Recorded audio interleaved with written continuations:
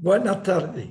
Eh, en este video voy a mostrarles eh, algo muy importante acerca de una universidad eh, italiana de gran prestigio, que fue la Universidad La Sapienza de Roma. Este video particularmente se lo dedico a mi hija, que tiene un gran interés en visitar este país, Italia. Ya anteriormente habíamos hecho el de Venecia y particularmente la sapienza, que quiere decir la sabiduría, es una de las eh, comunidades científicas más antiguas de toda Europa. Data de 1303, en que el Papa Bonifacio VIII, por, mediante una bula papal, creó esta universidad. Aquí vemos la iglesia de San Ivo y las antiguas aulas de esta universidad. Eh, aquí vemos la entrada principal de la universidad que tiene, actualmente tiene más de 140 mil estudiantes. Y es una comunidad científica que da eh, becas Erasmus y becas María Slodowska.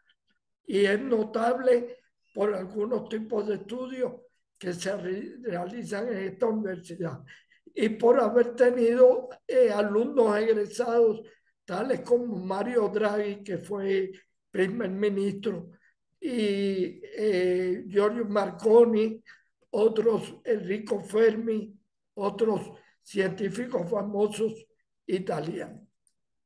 Aquí tenemos, yo les dejo la dirección postal y sitio web que ustedes pueden leerla posteriormente eh, para que el que tenga interés en visitar Roma pueda eh, dirigirse a esta universidad y hacer estudios especializados en algunas materias de gran importancia eh, para América Latina y no hay duda que un egresado de esta universidad tendría un perfil bastante amplio en cuanto a posibles ingresos y trabajos posteriores. Ahí les dejo uno de los edificios de la universidad. Fíjense que el estilo arquitectónico responde a lo que fue llamado como eh, nueva arquitectura fascista italiana, que data de los años en que Benito Mussolini fue el duce, como le decían, que era el líder del partido fascista italiano, eh, que fue entre 1922 y 1943, si no tengo eh, malentendido. Aquí vemos eh, lo que es el logo de la universidad, un ángel, eh, Studium Ver Brevis, Sapienza Universidad de Roma. Este es el fabuloso departamento de arquitectura y diseño construido posteriormente, no, de los años 50. Eh, esta es la Facultad de Letras y Filosofía. El Departamento de Matemática, en este caso, está eh, eh, dedicado a un gran físico matemático italiano, Guido Castelnuovo.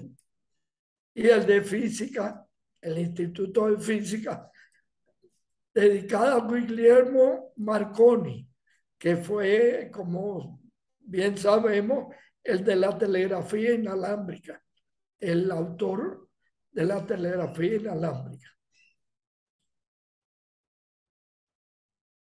Este es particularmente el edificio de la Escuela de Medicina para Angloparlantes, que corresponde eh, estructuralmente al diseño arquitectónico más general de la universidad. Aquí está el llamado Foro Itálico, construido entre 1928 y 1938, ya que en esta época eh, se esperaba obtener las Olimpiadas en Roma en 1940. Este foro tiene una cantidad de gimnasios e instalaciones eh, de gran importancia, como es, por ejemplo, las instalaciones correspondientes al estadio y al los cursos de tenis, donde se han realizado eh, competencias internacionales de tenis de gran envergadura. Cae dentro del campus de la universidad. Eh, la universidad cuenta con tres hospitales. El más importante es el Hospital Humberto I, del cual estamos mostrando el edificio principal. Es más antiguo como pueden apreciar. Pero la unidad quirúrgica, la vemos aquí, es bastante moderna. Con seis plantas, esta unidad quirúrgica tiene todas las instalaciones y eh, altos requerimientos eh, actuales. Son, les recuerdo que fueron, son tres hospitales los que tiene esta universidad. Desde luego que son hospitales docentes, ¿no? Como fue en Cuba en su momento el Hospital Calito García, por ejemplo.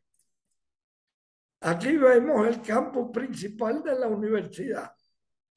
Algunas de estas obras, como ya les dije, datan de 1938, bajo el influjo de la llamada nueva arquitectura fascista italiana. Eh, es notable también el sitio arqueológico en la isla de Mozia, Italia, Sicilia, perdón, que es uno de los sitios arqueológicos de más interés, con miles de tumbas eh, detectadas y, y siendo estudiadas. Tiene una gran importancia, como también el Museo de Paleontología, de la universidad, que lo vemos aquí. La universidad también ha hecho eh, incursiones en las llamadas carreras eh, más modernas del siglo XXI, como son la robótica e inteligencia artificial. Aquí vemos un pequeño robot diseñado por uno de los alumnos de una maestría de la universidad. Es muy notable que está en pleno corazón de Roma y cualquier eh, turista que quiera visitar eh, Roma puede ver el, famoso jardín botánico de la universidad. Fíjense cómo se confunde con la ciudad. ocupa más de dos hectáreas y cuenta con más de 3.000 especies diferentes. Y tiene el llamado Museo Ortobotánico, que es una dependencia del Departamento de Biología Ambiental.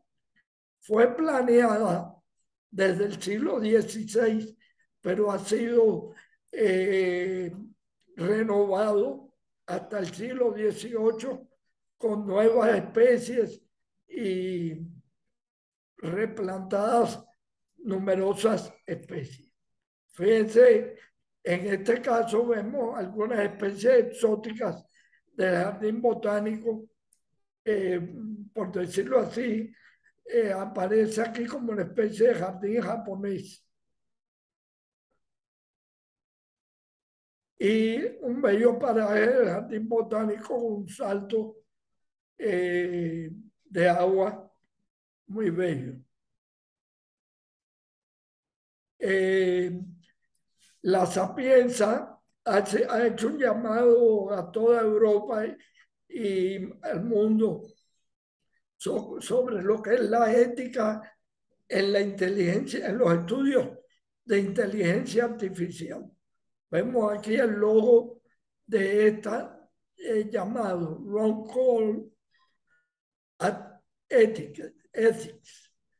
Vemos una persona con su imagen eh, virtual de lo que sería la presunta eh, tercera dimensión o eh, imagen de inteligencia artificial. Y con esto terminamos la exposición que aunque breve, queríamos hacerla llegar con mucho cariño a las personas que vayan a visitar Roma. Eh, Italia y particularmente la capital de Roma, para que vean cuánto de valor tienen en esta visita. Les pido me den likes y hagan sus comentarios respecto a esta exposición. Muchas gracias.